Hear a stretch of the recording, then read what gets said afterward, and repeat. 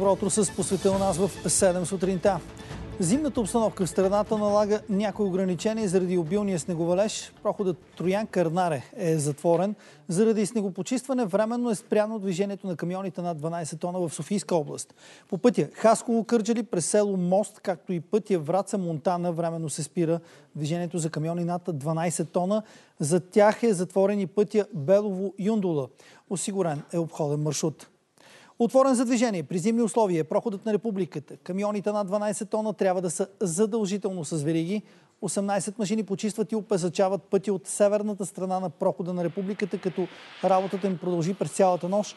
96 машини са в готовност да чистят пътищата на територията на област Велико Търново. Камионите над 12 тона задължително трябва да се движат с вериги. От пътната агенция призовават шофьорите да тръгват на път само добре подготвени за зимни условия.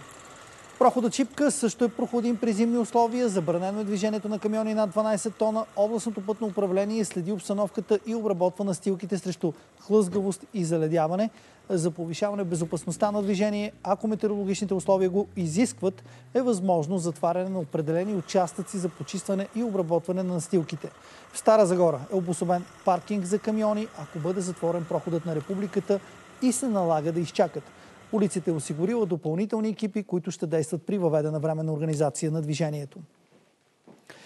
По информация на столичната община, в София са обработени пътните платна на улици, по които се движи масовия градски транспорт, главни улици за районите, както и част от вътрешно-кварталните улици. Градският транспорт се движи по график, почистени са и общинските пътища и участъците на Южната дъга и Самоковско шосе. Опесачени са пътищата в природен парк Витуша, Бояна, Златни мостове и Симеоново Алеко. От общината напомнят на управителите на търговски обекти и офиси, както и на етажната собственост, да почистят прилежащите към сградите им тротуари. У нас започва втори етап от вакцинационния план в страната. Вакцини ще бъдат поставени на възрастните хора в домовете, както и на персонала в тях. И към последните данни на един информационен портал, 827 са новите случаи на коронавирус у нас. За последните 24 часа положителни са 5,3 от направените 15 656 теста.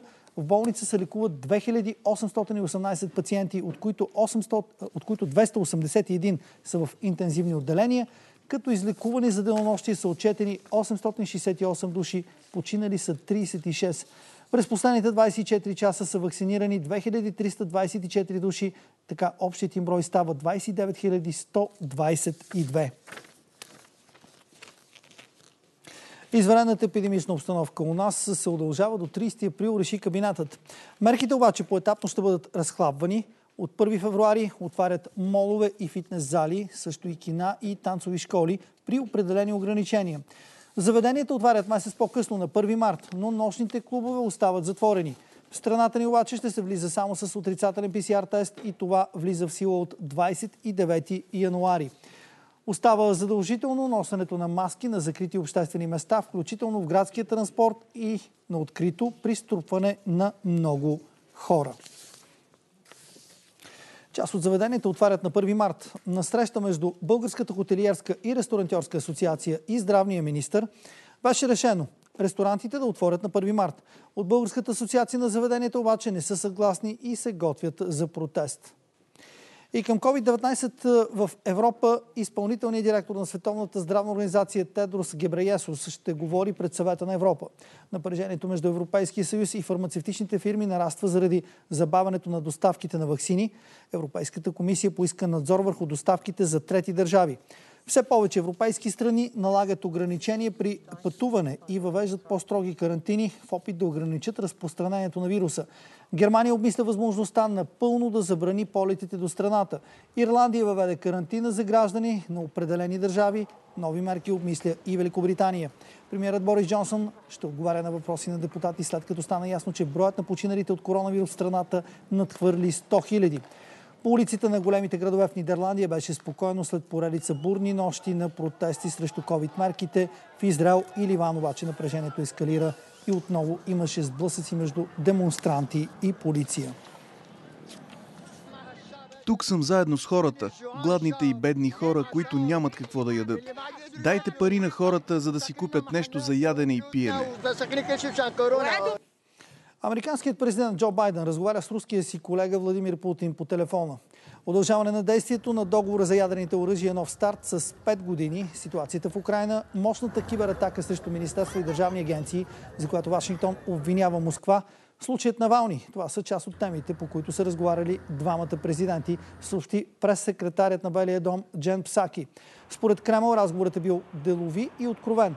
Инициативата за диалога е била от страна на Вашингтон. Това е първият разговор между двамата след встъпването в длъжност на Джо Байден. Гигантски графит с образа на легендарния Еди Ван Хален беше открит в Холивуд. Това се случва в деня, в който музикантът трябваше да навърши 66 години. Еди Ван Хален почина през октомври 2020 година от рак. Рисунката е върху стената на известен музикален магазин в именит квартал на Лос-Анджелис. И е дело на художника Робърт Варгас. Изобразява Ван Хален с китара в ръце и с затворени очи. Музикантът е основател на едноименната рок-група, която е сред най-известните и най-продавани в света. Запазената марка на Еди Ван Хален е специалната техника на звукоизвличане. Името му се нарежда сред тези на Джими Хендрикс, Ерик Клептън и Джими Пейдж. През 2012 година читателите на списанието Guitar World определят Ван Хален за най-добрия китарист на всички времена.